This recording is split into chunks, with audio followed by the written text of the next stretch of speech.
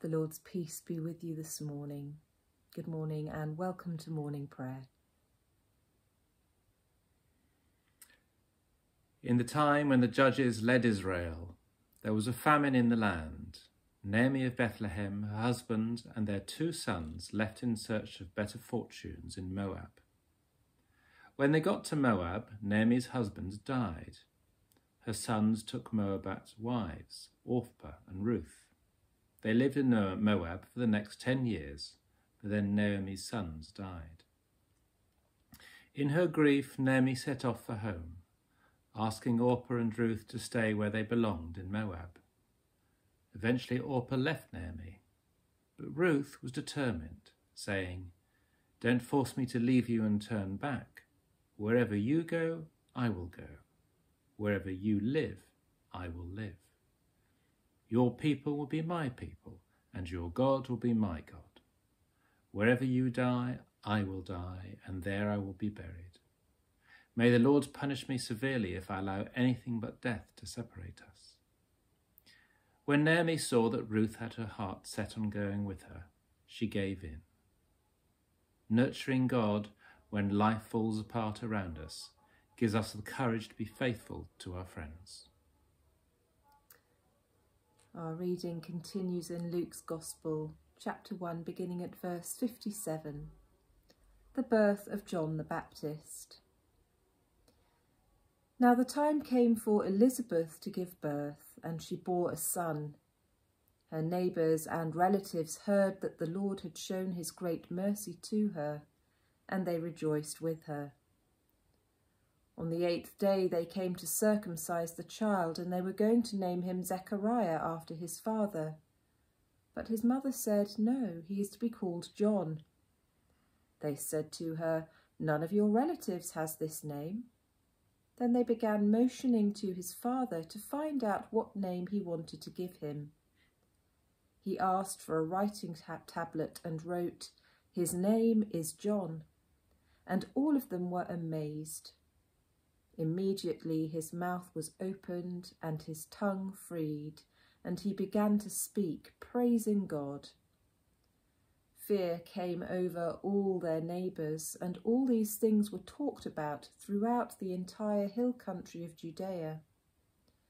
All who heard them pondered them and said, What then will this child become? For indeed the hand of the Lord was with him.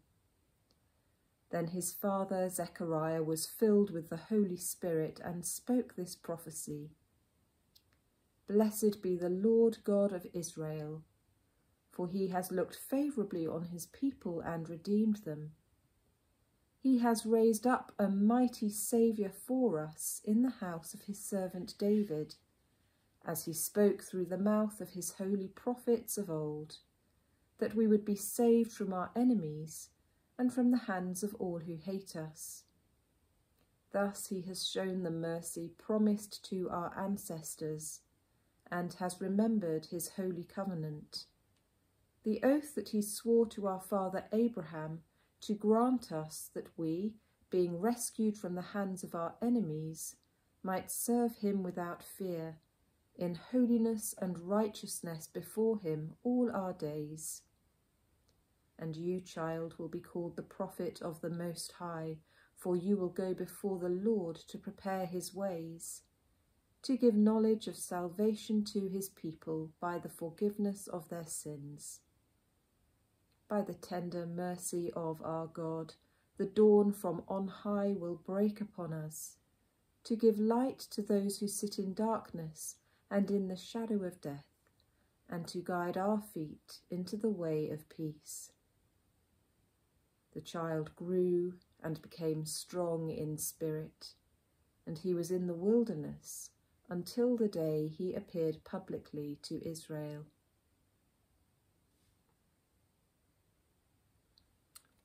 It's time for the examen.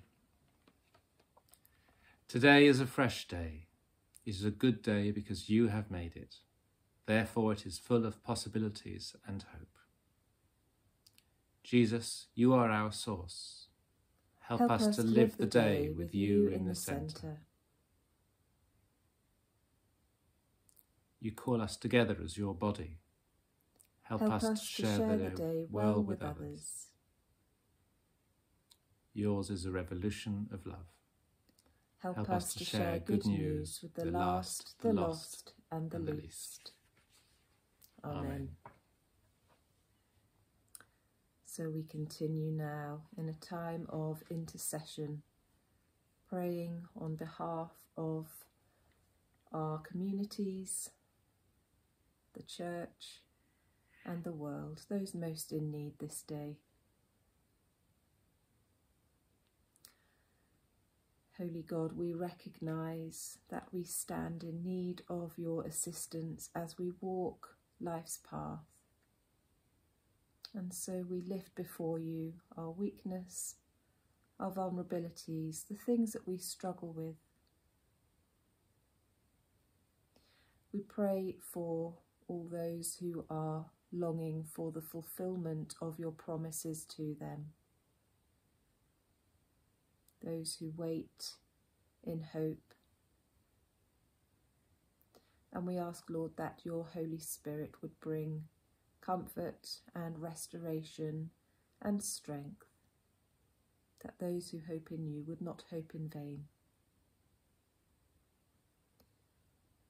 We pray in this Easter season for the church that we would make room for you, Lord, in the busyness of our lives, that our relationship with you would deepen, that we would experience the new life, the rebirth of faith, hope, and love. We pray for those who struggle with the demands of daily life the unemployed, those without health care, those in abusive relationships. And we pray for the shifting in structures of our society, for equity and justice for all. That you, Lord, would show us how we can ease the struggle of others and that you would awaken hope in the hearts of those who are despairing this day. Guide them to the help that they need. Show them the path to a new beginning. We pray for those who lead and those who are striving to form new governments, for the people of the Middle East, Ukraine, Russia, all those who suffer at the hands of oppressors. And we pray, Lord, for your enlightenment and inspiration, that the leaders of the world would build structures that respect the rights of others, that promote life and health, and establish educational and economic opportunities.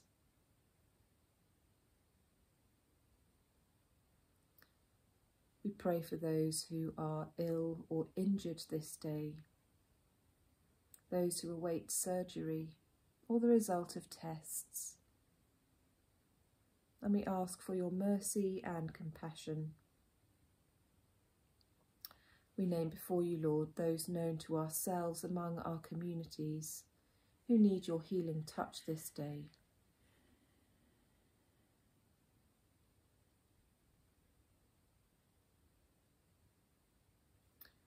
We pray too for those who are displaced, who have lost homes, livelihoods, families and friends, all who are awaiting the salvation of the Lord to break into the darkness. May you protect the most vulnerable, Lord, guide their footsteps, guard their hearts as they journey, and bring them safely back home. and as our Saviour Jesus taught us, so we pray. Our Father, Father in, heaven, heaven hallowed be your name. Your, kingdom come, your will be done on earth as in heaven. Give us today our daily bread. Forgive us our sins, as we forgive those who sin against us. Save us from the time of trial, and deliver us from evil. For the kingdom, the power, and the glory are yours, now and forever. Amen. Come to me, all who are weary and are carrying heavy burdens, and I will give you rest. Come away with me, and you'll recover your life. Walk with me and work with me. Learn the unforced rhythms of grace. I won't lay anything heavy or ill fitting on you. Keep company with me, and you'll learn to live freely and lightly. I have loved you even as the Father has loved me. Abide in my love. Let my joy be in you, and may your joy be complete. This is my commandment, that you love one another as I have loved you. No one has greater love than this, to lay down one's life for one's friends. You are my friends if you do what I command you. I do not call you servants any longer. Now you are my friends. Brother Jesus, as we enter this new day, help us to trust in your friendship. The Spirit of God dwells in us. Thanks, Thanks be, be, to God. God. Thank you for joining us for morning prayer today.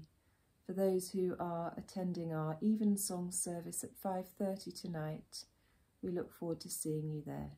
May God bless you.